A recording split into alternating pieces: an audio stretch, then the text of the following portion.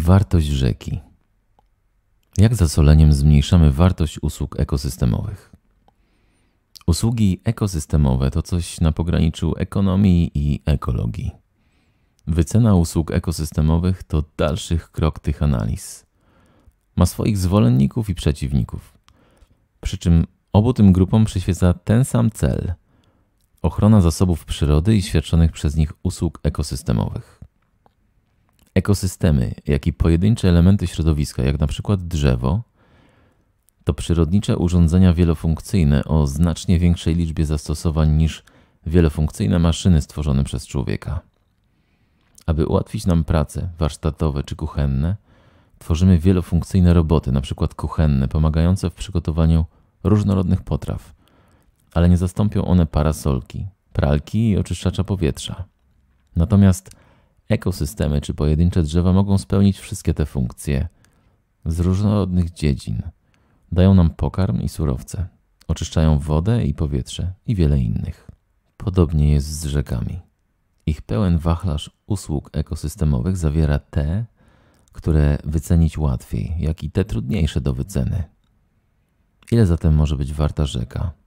Na to pytanie nie ma odpowiedzi, podobnie jak w przypadku pytania, ile warte jest ludzkie życie.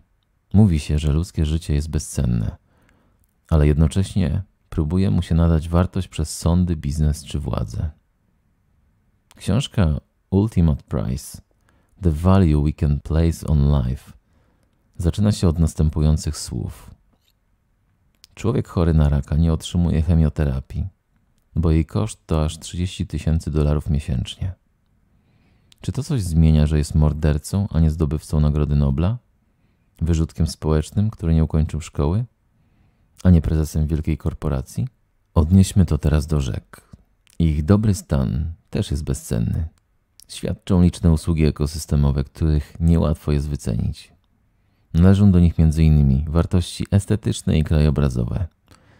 Każdy z nas może zadać sobie pytanie, ile warta jest dla mnie możliwość spędzenia chwili czasu nad brzegiem czystej rzeki, bo chyba nie ma wśród nas wielu osób, które będą się cieszyć z siedzenia przy ścieku. W badaniach naukowych próbuje się wycenić tą trudną do uchwycenia wartość. Ale są też inne usługi ekosystemowe, łatwiejsze do policzenia. Usługi ekosystemowe będące częścią gospodarki mają wartość rynkową. Woda pobierana dla zaopatrzenia w wodę pitną i ryby wyławiane w celach konsumpcyjnych to te najprostsze. Dochód z turystyki rzecznej to kolejna wartość mogąca służyć do wyceny usług świadczonych przez rzeki. Ale jak wycenić usługę odbierania oczyszczonych ścieków czy zrzutów z kopalni?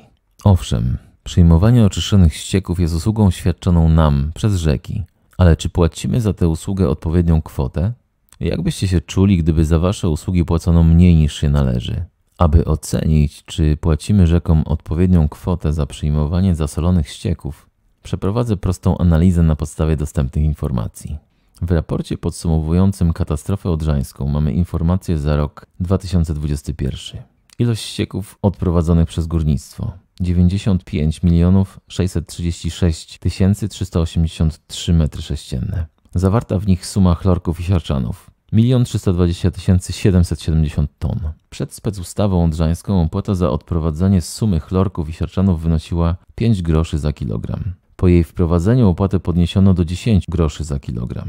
Zatem łącznie przemysł górniczy powinien płacić rzece 132 miliony 77 tysięcy złotych za usługę przyjmowania ścieków.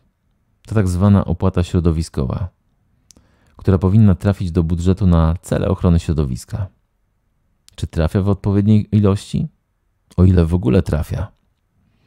Bowiem w latach 1995-1998 naliczono opłaty za zasolenie wód powierzchniowych w łącznej kwocie 970 455 zł, z czego spółki uiściły 7680 zł.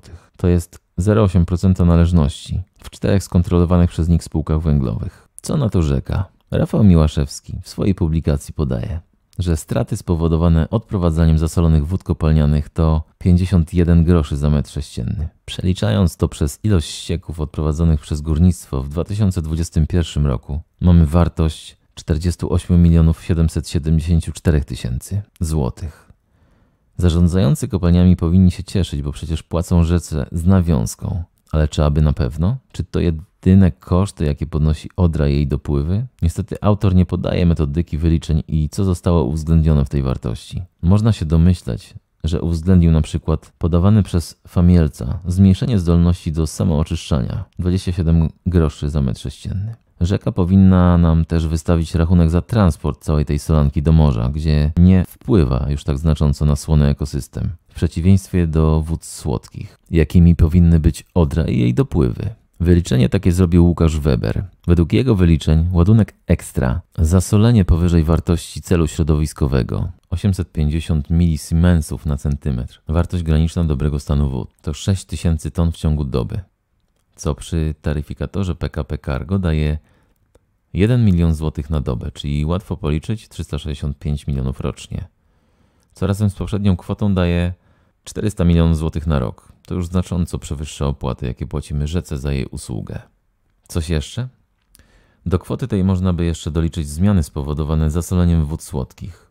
Złota alga to nie jedyny organizm, który nie powinien się znaleźć w wodach słodkich w takiej ilości. W trakcie konferencji Potamon 2023 roku hydrobiolodzy pokazywali gatunki obce i inwazyjne występujące w Odrze i jej słonych dopływach. Łączy je właśnie zasolenie, bez którego występowanie tych gatunków byłoby mało prawdopodobne w typowych słodkowodnych rzekach nizinnych. Na zakończenie można by doliczyć kolejną pewną wartość, jaką są straty w rybostanie. W ostatecznym raporcie podano liczbę 116 ton martwych odłowionych ryb. Szacunki publikacji naukowej są znacznie wyższe i podają 1650 ton.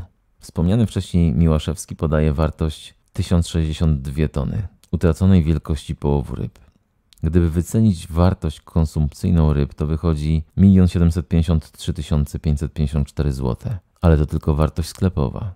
Nie uwzględnia potencjalnie niższej populacji ryb w latach kolejnych, czy wartości cennych chronionych gatunków. Nie uwzględnia też utraconej wartości innych martwych organizmów, w tym małży biorących udział w samooczyszczaniu się wód. Może ktoś pokusi się kiedyś o całościową analizę kosztów zasolenia rzek. Będzie można wtedy taką analizę zestawić z opłatami, jakie są płacone rzece przez usługę przyjęcia zasolonych ścieków. O ile są płacone w odpowiedniej ilości, albowiem wspomniane na początku ilości ścieków i ładunków chlorków i siarczanów pochodzą z deklaracji raportowanych do urzędów. Dopiero specustawa odrzańska wprowadziła obowiązek zamontowania automatycznych urządzeń pomiarowych, a zatem realnej i ciągłej wartości zasolenia dopiero będziemy mieli. Pełna wycena usług ekosystemowych i analiza kosztowa byłaby narzędziem kontrującym podejście. Wszystko po staremu. Z angielskiego business as usual, gdzie nie uwzględnia się pełni kosztów środowiskowych, strat powodowanych przez daną działalność. Koszty te są przerzucane na środowisko i społeczeństwo, co prowadzi do nagłych lub rozciągniętych w czasie katastrof, trawiących rzeki niczym choroby ludzki organizm. Ile zatem warta jest rzeka? Już w pierwszych artykułach Konstytucji Rzeczypospolitej, artykuł 5, ochrona środowiska wymieniana jest jednym ciągiem z wolnościami i prawami człowieka, czyli bezpieczeństwem obywateli. Skoro są stawiane na równi, to równo o nie dbamy? Ile warta dla nas jest zdrowa rzeka?